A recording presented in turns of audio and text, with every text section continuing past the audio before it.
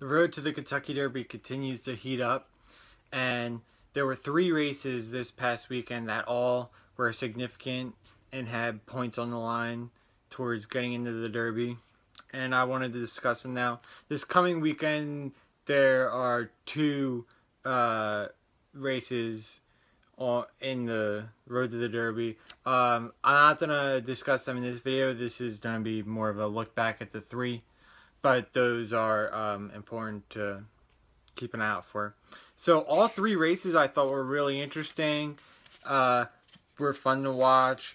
If you didn't get a chance, try to check out the replay. Um, I I thought that the uh, San Felipe was probably the one that generated the mo the most uh, interest or the most discussion. So I'm gonna discuss that one first. Um, the three races were the Gotham, which is held, which at the Aqueduct, Aqueduct uh, racetrack in New York, and then there was the Tampa Bay Derby down in Florida, and then the San Felipe in California. So that's one thing I discussed last last week. That the in terms of geography, it was spread out. That that was pretty cool. So anyway, the San Felipe, if you haven't heard about it, it featured two of the leading contenders, at least going into the race, um, Bolt D'Oro and McKinzie. Bolt D'Oro was the one of the top two year olds, but he finished third in the um, Breeders' Cup Juvenile.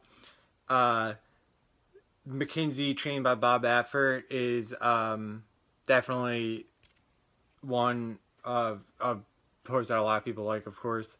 Um, so this was kind of like a showdown of sorts, you know, and it, I, for me, I put less into the head-to-head matchup than I just wanted to see each horse and how they did you know, for themselves because McKinzie didn't have that much experience, and Bolt D'Oro was coming off that. Not only was he coming off a little bit of the disappointing effort in the juvenile, but then he also had injuries earlier this year, so there was really a question mark how he was going to run. In terms of how the race played out, it was incredibly exciting race.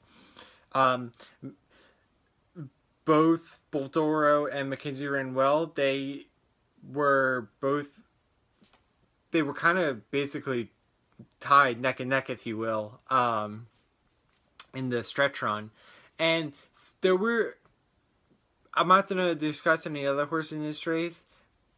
That's not to say that none of them uh, can't rebound and make a push, but most of them I thought were a little bit further back. It really turned into a two horse race down the stretch.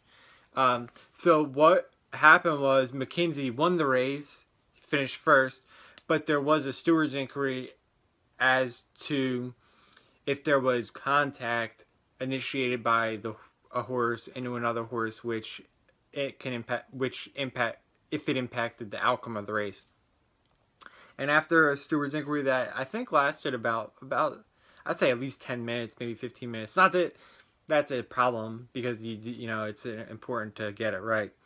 But it was determined that McKinzie impeded Bolt D'Oro. So although McKinzie finished first and Bolt D'Oro second, again razor thin, um, it was switched. McKinzie was disqualified, so Bolt D'Oro wound up technically winning the race and McKinzie finishing second.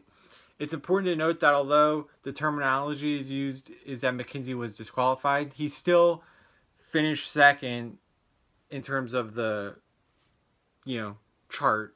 And but maybe most importantly is that he um, still received the second place points in terms of the road to the derby. Um, because if he didn't receive those points then he'd still probably get into the race but then he'd be under a lot of pressure in terms of having to perform well in his next race. But let's kind of talk about the there's a lot to talk about here because there was disqualification, the stewards inquiry, and actually the race itself.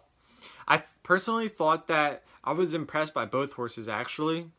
Um, I thought Bolt D'Oro ran great. Um, he was right up there for about the first three quarters of the race, about. And then when he needed to, he turned it on.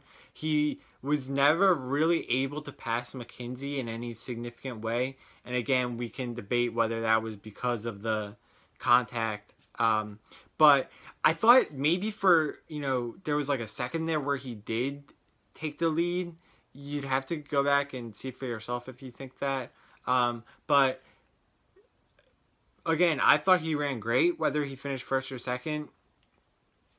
I thought if anyone had doubts about him, I think they probably went away, and he's firmly in the top. I'd say three at least right now, in the terms of rank. If you're doing like a ranking for the Derby, um, he's probably number one for a lot of people. And again, you know, he finished. He was the second horse to cross the finish line. So, in that respect, you know, it's. I can understand someone say, "Well, how can you rate him as the top three-year-old right now heading into the Derby if he didn't win his race?" But at the same time, you know, you have to look. McKinzie's a great horse, which I'll get to in a second, and for Bolt D'Oro again coming off of a pretty long layoff, and especially off of an injury and the poor, poor relatively poor performance last time out. It was imp- important for him to run that well, and I think when you combine his perform, it'd be one thing if this was his first performance, like if he was a horse where this was his first major race and he ran that, then maybe there'd be some question marks. But for him to do this on the back of what he did as a two year old, I think that's where people are saying, okay, yeah, he's the top three year old right now, or at least second or third. From McKinzie's perspective, I again, if that maybe there's some mixed opinion about him, but if you liked him coming in, you're just gonna like him that much more after this.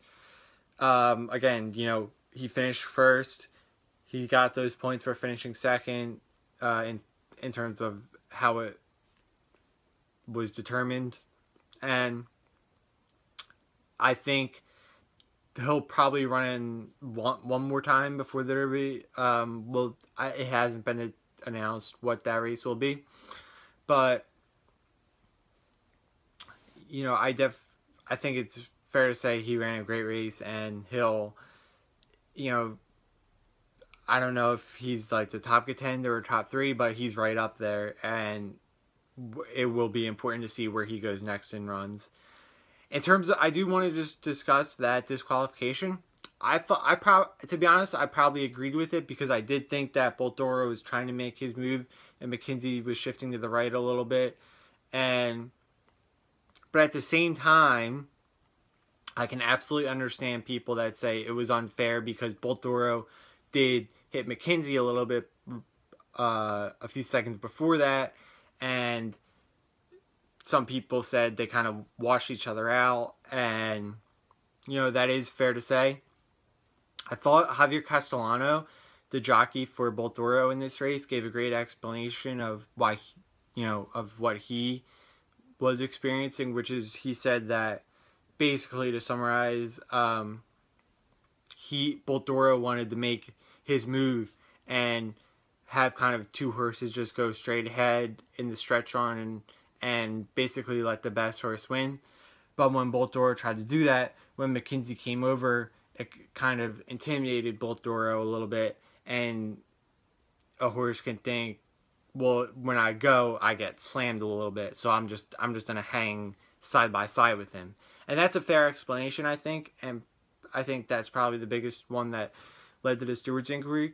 I think this is probably a case where if you're either the trainer for one of the two horses or if you were rooting for one, maybe if you had wager on this race or if you're just a fan of one of the horses, you probably you'll side with either one. It was really close and you know it's it's a difficult decision and um it, it's complicated in respects because there's a lot riding on it and I can understand why some people would be upset.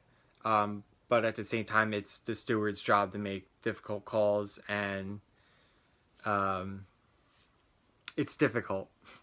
Um, okay, so that was the San Felipe. Great race. I hope it's not overshadowed by the um, disqualification, but well done to both Bolt D'Oro and McKinzie for putting on a really nice race. And again, you know, maybe let's not totally write off the write off the um, third and fourth finishers in that race or any of the others because they were facing you know two great horses, and if they come back and run great, you know they can still get into the Derby. So I'm not going to mention them here, but uh, certainly they shouldn't be forgotten. So now I'm going to move on. I'll let I'll do the Tampa Bay Derby next and finish with the Gotham, and I'll do these relatively quick. So the Tampa Bay Derby was won by Quip, who kind of came out of nowhere a little bit. He finished seventh in the K Kentucky Jockey Club, which if you look at that race and uh, some of the horses that ran in there and how they done it, it's looking like a pretty nice race. Again, finishing seventh, um, you know, doesn't matter how good it is, it's still not a great performance. But um, in this race, he ran awesome. And this was a pretty nice field, actually, decent field. So well done to Quip. He earned those 50 points. And he'll probably be into the Derby if that's what his team wants. So he's an important horse to um, keep an eye on. Second was Flame Away, trained by Mark Casse. And this was a horse that in his last time won the Sam F. Davis, which I thought was a really good field actually. Um, so if you were a little unsure about Flame Away, finishing second here, that's not bad. So I think Flame Away is a horse that we should probably keep an eye out. Um, and I think he's becoming a serious contender for the Derby at this point. Um, one horse I did want to mention finishing fourth was Vino Rosso, who um, in his last race was third, but was an impressive third. But for him to finish fourth here, it was, I'd say it was really disappointing. He did not run great. He didn't run terrible, but not good. So he'll probably, I don't know, maybe, I don't know if there's time to run, for him to run twice, so probably just once more, and he'll have to have a great performance to get into the Derby and be a contender. Um, so this was, I was looking for more here from Vino Rosso but at the same time, well done to Quip. And again, that's 50 points right there. And then Flame Away, again, okay, yeah, he finished second, but he had another win earlier on, like I just mentioned, the Sam F. Davis. So I'm pretty sure he'll have enough points to be in at this point. And that's a just a great job. And again, trade by Mark Casse, which is interesting because Mark Casse had Classic Empire last year, um, who was one of the um, most well-known and most talented three-year-olds last year. Okay, let's move on to the Gotham now. Um, Enticed won this race, trained by Kiaran McLaughlin. And Enticed is kind of a horse that's run a lot. Um, so this this was a huge performance, I thought. Um, and again, this was another 50 pointer. And um, I'll mention it here. It's kind of becoming a trend maybe this year where if you win, you know, maybe you can come out of nowhere a little. Well, not that Entice came out of nowhere, but you don't have to be a favorite or a well-known contender. But if you run in one of these 50-point races and you win, you're basically in the Derby if you want. And so that's why these races are important to watch um, and pay attention to. Second here was Old Time Revival. And then two horses that I'll mention that are well known and finished third and fourth in this race. So third was Free Drop Billy, and fourth was Firenze Fire. Uh, these are horses that have run a lot, and maybe earlier on were uh, popular contenders, and maybe they still are because I'm pretty sure they they'll both have enough points to be in the Derby. They're I think they're right now they're still they're both in the top ten. The interesting thing with them is I to be honest, I don't think right now they're serious contenders to win. Uh, I you know, again, I hate to say that because it can be unfair. You know, you get into the starting gate on Derby Day and anything can happen. But just realistically, if you look at their last couple of performances, I just don't think they'll have quite enough talent or speed to win the Derby. But they're both really tough horses, and they both I think that the they'll both on their day have the distance to get a mile and a quarter, and it just seems to me like they both they both have a lot of heart, and they'll they'll they'll run and run hard, and maybe they yeah they won't have the speed to win. But what I was gonna say was if you're looking, and again it's early to discuss specific bets for the Derby, but if you're looking at a horse that can maybe sneak into the trifecta or if you do a superfecta, I definitely think Free Drop Billy and Firenze Fire would be contenders for those type of bets. You know, a lot of times on Derby Day, you see like a horse who's 20 to 1 or whatever, 25 to 1 going into the race. And then all of a sudden they finish third and you're like, wow, you know, maybe you didn't see that one coming. I think these horse these are two examples of horses that can do that. Um, and the funny thing was like I thought I was watching them a little bit during the race and they were like right next to each other for large portions of the race. It was kind of funny. So I don't know if I like one more than the other. Um, uh, but they'll still, like I said, they'll both almost definitely have enough points to into the Derby, and they could be again maybe not serious contenders to win, but potentially to finish third or fourth. Again, I but the story coming out of the Gotham is enticed. Let's be clear to win, trained by Kiaran McLaughlin, and he uh, bucks his spot in the Derby if they want that. So those were three big races. Uh, two more coming up this weekend, and then I think the weekend of March 24th is the Louisiana Derby, and the following weekend is the Florida Derby, and then we're in April, and then um, and again, even though uh, obviously you might think that when April comes, that's right before the Derby, but keep in mind the two to three week that stretch right before the Derby, those horses aren't going to be running because you know that's not enough rest between the final prep to the Derby. You'd have to have at least, I'd say, three weeks, two with the um, very least, and especially if you know it. If think about this, if you're a contender to win the Derby, then you don't want to win the Triple Crown, so you're gonna run one in the Preakness. So then you'd be running in your last prep, then the Derby, then the Preakness, and the Belmont three weeks after the Preakness if that was the um, course that you took. So that's why um, it's, you know, right now it's important to um, these races going on because there has to be that layoff time before the Derby. So thanks for this video. I hope you enjoyed the races and keep an eye out for the uh, ones coming up.